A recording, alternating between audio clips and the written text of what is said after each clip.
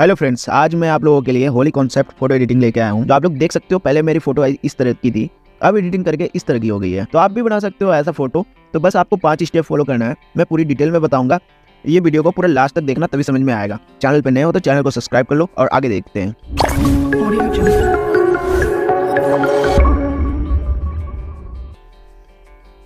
First step में आपको क्या करना है? अपने फ़ोटो का बैकग्राउंड इरेज करना है। तो बैकग्राउंड इरेज करने के लिए हम लोग ले चलते हैं। फ़ोटो रूम एप्लीकेशन के अंदर। तो ये फ़ोटो रूम के एप्लीकेशन के अंदर आ चुका है और ऑटोमेटिकली आपका बैकग्राउंड जो है इरेज कर देगा। ठीक है? उसके बाद ट्रांसपेरेंट पे क्लिक करके फ़ोटो को हल्का सा जूम कर लेते हैं। इतना करके, इसे कर लेंगे डन और एक्सपोर्ट करके ऊपर कर, यहाँ पे नीचे में दिखा हुआ है सेव टू गैलरी उस पर क्लिक कर देंगे। ठीक है? ये आपका फ़ोटो का बैकग्राउंड हो गया, बिल्कुल रिमूव हो गया ठीक है? यहाँ से अब हम लोग क्या कर लेते हैं? अब सेकेंड सेकेंड स्टेप में आपको पिक्सार्ट ओपन कर लेना है। ठीक है। पिक्सार्ट ओपन करने के बाद एडिट फ़ोटो पे जाना है।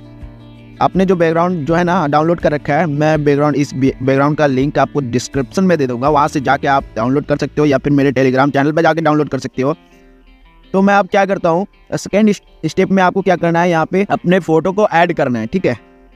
अपने फ़ोटो को ऐड कर लेते हैं हम अच्छी तरीके से। ये देखिएगा इस अच्छे से अपने फ़ोटो को यहाँ पे एडजस्ट कर लेना है। ये मैंने कर लिया। ठीक है, आपको भी ऐसे ही करना है। और अब क्या करना है गाइज़ थर्ड स्टेप में है, मुझे बैकग्राउंड को मिक्स करना है, ठीक है। तो बैकग्राउंड को अपने फ़ोटो के अकॉर्डिंग मिलाना है तो कैसे करेंगे? तो उसके लिए मैं पीएनजी दे रखा हूँ। जो जो पीएनजी यूज़ कर रहा हूँ, सारा पीएनजी आपको दे रखा हूँ, ठीक है। गैलरी में जाना है। आपको ये वाला पीएनजी डाउनलोड कर लेना है पहले। ये वाला ऐड करके आपको ऐसे लगाना है। ये वाला ये वाला प्रश्न दिख रहा है ना गाइस ये आपका, यहाँ पे रहेगा। ये देखो गाइस ठीक है? ये यहाँ पे रह गया। अब फिर से मैं क्या करूँगा? स्टिकर पे जाऊँगा। रिसेंट में मैंने यूज़ किया एक पीएनजी ये वाली। देख सकते हो, आपको मैं दे दूँगा। डिस्क्रिप्शन में वहाँ से डाउनलोड कर लेना आप, ठीक है? ये वाली मैं कुछ ऐसे एडजस्ट कर रहा हूँ। ये देखो गाइज़ कुछ ऐसे एडजस्ट किया हूँ। ये बेटर लग रहा है। अब इसे इरेजर टूल पे जाएँगे। और हार्डनेस को कम करेंगे ऑपिसिटी को कम करेंगे, और नीचे वाला पार्ट जो है ना, हल्का हल्का सा इरेज कर देंगे। तो ये हमारे बैकग्राउंड में मैच हो जाएगा। ठीक है गाइज़ और यहाँ से आपको अभी कुछ भी यहाँ से ये वाला सेव नहीं करना है, ठीक है? तो आपको अब क्या करना है? फिर से ऐड पे जाना है, और एक PNG लेना है, ये वाला। और ऐड कर लेते हैं, इसको मैं शर्ट पे दूँगा। शर्ट पे देने के बाद इसका, क्या बोलते हैं ब्लेंड ब्लेंडिंग चेंज कर लेते हैं, ठीक है? स्क्रीन मल्टीप्लाई कर देते हैं। यह हमारे सेट पे कलर आ चुका है। इसको डुप्लीकेट करके इधर भी दे देंगे। ठीक है? अब लग रहा है ना गाइस सेट पे भी कलर पड़ा है। अब फिर से ऐड पे जाएँगे। ऐड पे जाने के बाद ये रेड वाला कलर लेंगे। इसे भी ऐड कर लेंगे। ऐड करने के बाद इसको हम हैंड पे लगाना है और इरेजर टूल लेके एक्स्ट्रा पार्ट जो है, वो इरेज कर लेंगे। ये इरेज हो गया। अब इसका भी ब्लेंडिंग मोड चेंज कर लेंगे। इसको भी मल्टीप्ले कर देंगे। ये देख सकते हो गाइस फिर से आपको ऐड टूल पे जाना है। और फिर से ये ये वाली कलर ले लेना है। आसमानी वाली। और इसको जो है, अपने फेस पे देना है। इसकी ब्लेंडिंग मोड चेंज करोगे ना गाइस तो ये हरा हो जाएगा। अभी दिखाता हूँ मैं। मल्टीप्ले कर देना ब्लेंडिंग मोड ये देखो गाइस ये हो गया जंगाली रंग। ठीक है, इसको इरेज कर देंगे हम लोग। एक्स्ट्रा पार्ट इरेज कर देना है आपको। ये एक्स्ट्रा पार्ट इरेज हो गया। फेस पे देना है। अब इसे हैंड पे दे देना है। ठीक है, यहाँ पे हैंड है। यहाँ पे दे देना है और एक्स्ट्रा पार्ट जो है इरेज कर देना है।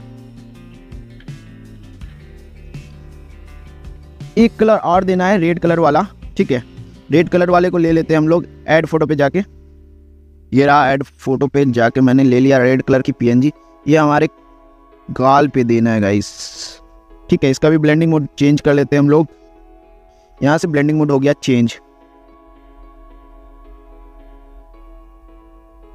नहीं रेज नहीं, अभी क्या करना है, इसको अच्छे से एडजस्ट करना है, पहले देखना है।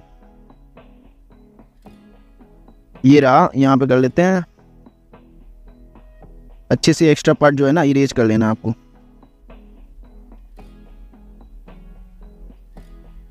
ये हो गया इरेज अब इसे डन कर लेंगे।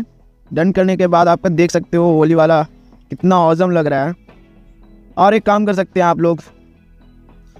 और एक काम कर सकते हैं, बताता हूँ। ऐड फ़ोटो पे जाना है, फिर से ये रेड वाला कलर लेना है और ऐड कर लेना है और यहाँ पे आपको नीचे में लगा देना है, ठीक है?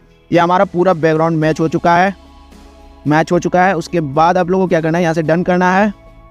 डन करने के बाद आपको क्या करना है रिटच में जाना है। रिटच में करने के बाद आपको एच डी प्रोटेक्ट कर देना है, ठीक है? प्रोटेक्ट कर देने के बाद आपका फ़ोटो इनहेंस हो जाएगा, सबसे लास्ट स्टेप ये देख सकते हो गाइज़ आपका फ़ोटो एकदम इनहेंस हो चुका है पूरा एचडी क्वालिटी में। आप इसे कम भी कर सकते हो आप ज़्यादा भी कर सकते हो। आपके पिक फ़ोटो के हिसाब से आप कर लेना, ठीक है? यहाँ से डन कर देते हैं हम लोग।